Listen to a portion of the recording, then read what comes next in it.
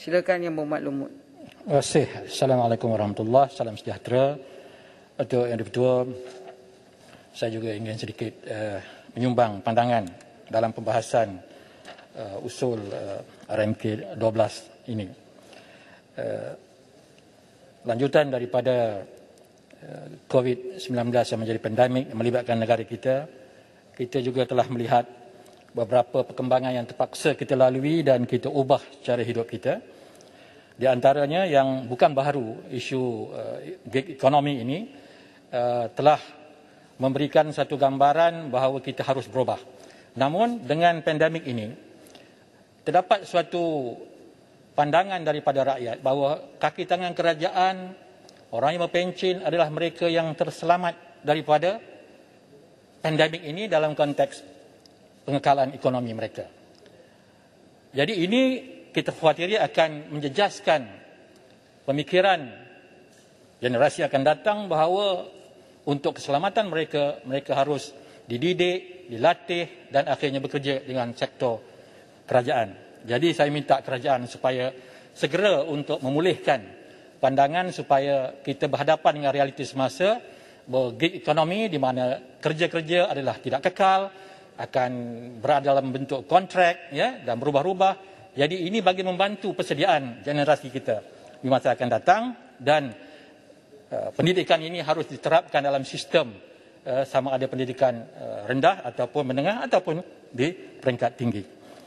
Tuan Ketua, seterusnya hampir semua pembahas yang bercakap mengenai dan mewakili kawasan masing-masing membangun membangkitkan isu perbezaan atau jurang pembangunan mengikut wilayah. Ya ini kerajaan harus terima hakikatnya bukan hanya antara wilayah Sabah Sarawak dengan Semenanjung tetapi di antara negeri-negeri di dalam Semenanjung. Kita ada ikhtiar sebelum ini uh, pembangunan koridor ya dan sebagainya tetapi tidak dapat uh, membangunkan uh, koridor-koridor tertentu seperti pantai timur ya di utara pun belum berapa membangun ya. Jadi kerajaan harus mencari jalan supaya perbezaan perbedaan yang terlalu nyata antara wilayah ini dapat dirapatkan jurangnya. Kalau tidak, kita akan berhadapan dengan isu uh, gerakan penduduk daripada luar bandar ke bandar yang menyebabkan kesan-kesan sosial terhadap kehidupan mereka. Kalau kerajaan segera membuka pusat-pusat pembangunan yang baru, tidaklah sampai macam Indonesia membangunkan ibu kota barunya di Kalimantan, tetapi dalam konteks uh, pembangunan industri-industri yang tertentu mengikut keupayaan ataupun aset-aset yang ada di kawasan tertentu itu harus disegerakan. Kalau pelancongan itu yang menjadi uh, tumpuan ataupun yang menjadi aset bagi sesuatu daerah, Dungun tadi misalnya, ataupun Lumut yang saya wakili, maka seharusnya aktiviti-aktiviti sedemikian dipergiatkan. Dan kalau ada di tempat di sana kawasan-kawasan yang boleh dibangunkan sebagai pelabuhan-pelabuhan, Eh, batu trading ke pelabuhan kecil laut uh, tidak dalam ya seperti di Lumut juga harus dipikirkan bagaimana nak menyambungkan Lumut dengan kawasan-kawasan yang lain melalui highwaynya yang sudah sedia ada ataupun melalui sistem rail ya ke tempat-tempat lain. Dan kita juga memerlukan ekosistem sokongan yang boleh membantu uh, contohnya kemudahan komunikasi ya sistem pendidikan di kawasan-kawasan yang tertinggal ini. Ini mesti dibuat secara serius dan kajian mestilah disegerakan untuk memastikan data-data yang lengkap supaya kita tidak lagi menumpukan pembangunan hanya di tempat-tempat yang dah sedia membangun. Kita harus uh, mencari potensi-potensi baru di kawasan-kawasan pembangunan yang baru, terutamanya kawasan-kawasan pertanian, ya, di mana penduduknya adalah antara mereka dalam golongan berpendapatan yang kurang. Ya. Kita dah bercakap mengenai teknologi dalam pertanian, ya, menggunakan drone, menggunakan uh, uh, artificial intelligence dan sebagainya. Tapi ianya tidak di pick up ya oleh oleh uh, pemain-pemain dalam industri sehingga kita masih lagi berada dalam keadaan uh, pertanian cara lama. Apabila berlaku uh, malapetaka dari segi uh, uh, cuaca yang tidak baik banjir dan sebagainya maka petani-petani kita akan menghadapi masalah di dalam industri mereka. Jadi harus kita cari jalan supaya penggunaan teknologi ini betul-betul dapat membantu ya walaupun berlaku apa-apa malapetaka ataupun bencana mereka kekal dapat melaksanakan tanggungjawab ekonomi mereka Jadi tidak timbul rasa tidak puas hati. Ya, uh, seperti yang disebut oleh Baling, menangani isu banjir. Sudah berlarutan, ya, bukan di Baling saja. Banyak tempat uh, juga mengemukakan masalah yang sama. Ada di antara kita di negara ini bersaing antara wilayah. Ya, satu wilayah dengan satu wilayah. Dan negeri dengan negeri. Untuk merebut contohnya peluang-peluang pelaburan daripada luar.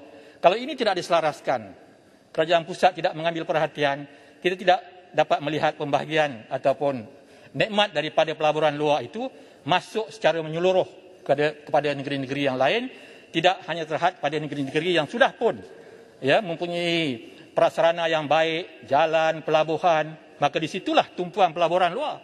Ya, tempat lain akan kekal menjadi kawasan pertanian yang tertinggal ataupun kawasan uh, nelayan yang sentiasa ya, terganggu oleh uh, keadaan-keadaan cuaca.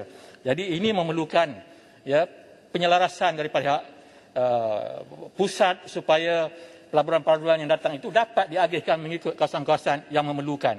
Bukan kawasan-kawasan yang sudah sedia ada. Ya.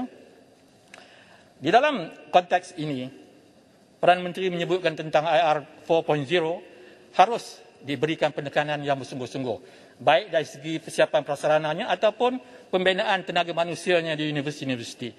Ini memerlukan kesungguhan di dalam kita merangka pendidikan anak bangsa kita. Ya, sama ada dari segi kos pembelajarannya dipermudahkan, uh, ilmunya ataupun mata-mata pelajaran yang sesuai ya, dengan keperluan semasa dan dididik secara uh, yang terbaik ya, supaya mereka dapat ilmu ini melalui penelitian, melalui penyelidikan yang ada di universiti. Ya, yang kemudiannya yang bagus dapat dipasarkan. Saya ingin bertanya kepada kerajaan, bagaimana kedudukan penyelidikan-penyelidikan atau kajian-kajian yang dibuat oleh akademia kita, oleh penyelidik-penyelidik kita dan berapa banyak yang boleh dipasarkan dan boleh ya membantu pembangunan ya, industri di negara kita ini. Kerana ini melibatkan uh, tanaman modal ataupun kos pembiayaan yang tinggi bagi institusi-institusi penyelidikan tersebut ya. Dan dengan cara penggunaan teknologi ini kita dapat mengurangkan masalah perennial kita iaitu pengambilan pekerja-pekerja warga asing untuk membantu industri-industri yang ada dalam negara kita. Kita tidak boleh berterusan begitu. Kerana kadar kelahiran kita sentiasa bertambah. Kita akan punya warga negara yang memerlukan pekerjaan. Kita tidak boleh lagi membiarkan mereka ya, kerja-kerja mereka diambil alih oleh warga asing. Oleh demikian mereka harus diberikan pendidikan uh, yang sewajarnya supaya akan menjadi lebih efisien, kurang penggunaan kerja asing dan R&D serta commercialization of research ini akan menjadi suatu industri yang sangat menguntungkan uh, negara kita.